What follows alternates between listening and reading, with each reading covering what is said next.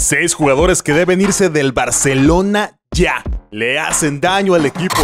El Barcelona está viviendo una temporada muy complicada que desde años atrás se podía avecinar. Y es que hay jugadores que no terminan de estar al 100 o que de plano ya terminaron su etapa en el equipo. Y lo mejor es que se vayan. Así que hoy les presentaremos a los seis futbolistas que están haciendo daño al club, ya sea de forma económica o deportiva, y que deben marchar. Junior Firpo terminó convenciendo al Barcelona de su fichaje por las buenas actuaciones que tuvo en su etapa con el Betis. El equipo blaugrana lo vio como un buen recambio de Jordi Alba, pero desde su llegada no ha terminado de adaptarse. Y lo cierto es que tampoco ha tenido muchas oportunidades para demostrar su fútbol, por lo cual ya se habla de que podría marcharse este mismo mercado de fichajes.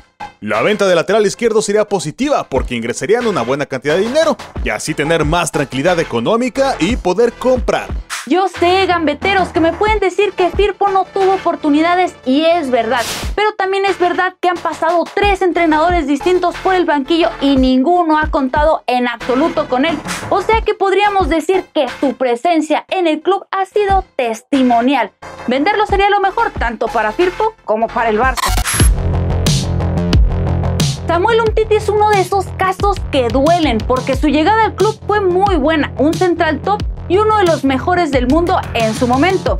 Después llegó el Mundial de 2018 y lo perdimos completamente. Las lesiones no lo han dejado en paz desde su decisión de no operarse la rodilla izquierda en verano del 2018. Desde entonces, Umtiti ha acarreado muchos problemas que lo han terminado por marginar de las convocatorias. Tanto así que estuvo más de seis meses sin estar presente en ninguna convocatoria. Y fue hasta el partido de Champions contra la Juve, donde perdieron por tres goles que jugó 40 minutos.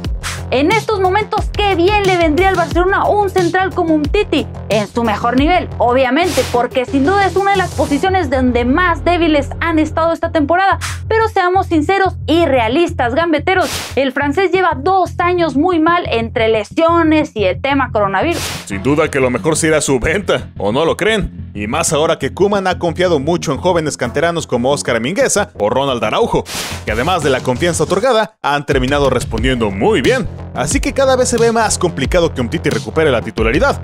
Económicamente, sin duda que le está haciendo daño al Barça.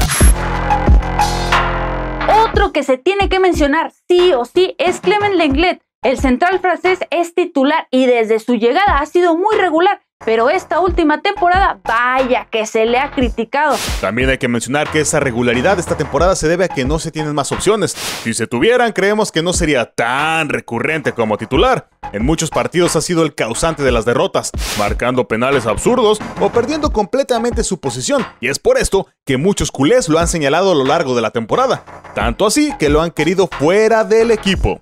Ustedes cómo vengan, veteros, yo creo que sin duda el Englet sigue siendo muy joven y no por una temporada se le puede sacrificar. Pero lo cierto es que le ha faltado cabeza fría en partidos. Se ha perdido el Barcelona y él se pierde junto con el equipo. Deportivamente podemos decir que sí le ha hecho daño al equipo por esos errores. Busquets ha sido un jugador muy infravalorado a lo largo de su carrera. Poco se habla de lo bueno e importante que ha sido para el Barça, pero creemos que su etapa ha terminado. Al Barcelona no le han quedado muchas opciones y sigue utilizando a Busquets como pivote. Como lo decimos, no es un mal jugador, simplemente ya no está para ser un titular indiscutible como lo viene siendo. Que también debemos entender que esto sucede por la falta de fichajes, pero sin duda que el ciclo de Sergio Busquets ha terminado. En esa posición se necesita un jugador más rápido que pueda atacar y defender, recuperar balones y el internacional español no cumple al 100 con estos requisitos. Y muchas veces esa falta de velocidad termina afectando muchísimo. Simplemente ya no está para ser titular en esa posición y el Barcelona necesita un cambio generacional ya.